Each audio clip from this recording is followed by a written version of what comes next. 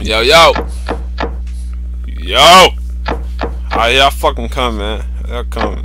What's this the peak hole? Oh shit, is the motherfucker. What the fuck is this? I see a white suit. No, I see no motherfucking white. Black suit on. White shirt. Oh shit, it's the motherfucking. Is this the motherfucker? Oh shit, shit.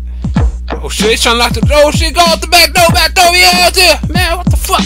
All these motherfucking police out here on the block, man. They trying to make the hot spot on the block, man. Last week, some niggas just got shot up. And now they motherfucking big time drug dealers in the short. Now the niggas was on. They tried to pack crack. They used to sell the dope. I run out the motherfucking back in the cocaine. You know the game was hectic. So I had to nigga go like skeptic. All I wanna do is just cop some shit. Me and my niggas on the block, they was telling about some shit.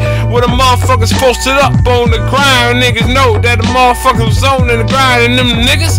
Man, of fact, it was working. I didn't know, I ain't had a beef with them, I was lurking. But I was just cool. Matter of fact, I was metal, just going my own way and shit. Being no common shit. Yeah, but all I know, they tried to tell this nigga what to do, tried to tell him what's going on, so the niggas got into it. Matter of fact, man, it was get out of head and it got so hectic. So a nigga had to get skeptic and rep it.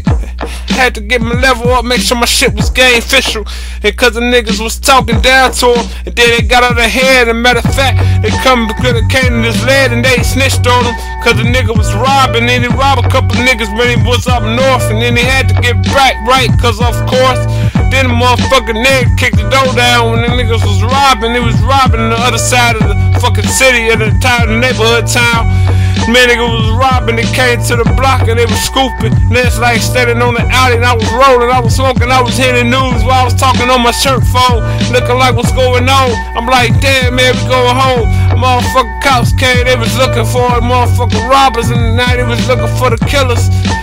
Like damn, now this is thriller, cause niggas wasn't even snitching on them. But the nigga was snitching on them and they come through, motherfucker snitched on them. They was looking for the robbers, and now they stitched up on state. They locked up in a cage and then came to this house and what more to say? They came through the trap and looked for his ways and all that shit had up and bad up. And motherfucking got his niggas battered up before that. But it was just a little fist fight or a little flex fest, flex fest altercation. And when it was got out of hand, but the niggas started hating. And that they wouldn't see him, he was making all the cake. And now he get back when he got to his first pack. After that, he got through his first racks. And then after that, he was on his way to second racks. And then he got crammed up. He had to murder the bricks in the truck. Like that, they tried to jam him up. Now he upstate, sitting in the motherfucking cell, waiting on some bail. Gotta pray to the Lord for the yell, for the yell, for the niggas that got bail.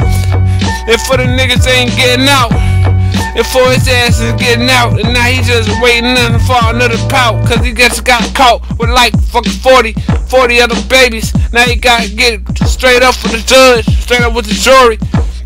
And they get to get out, hopefully.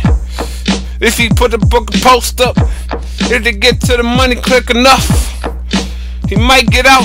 It's commissary, and they gon' pee on him out.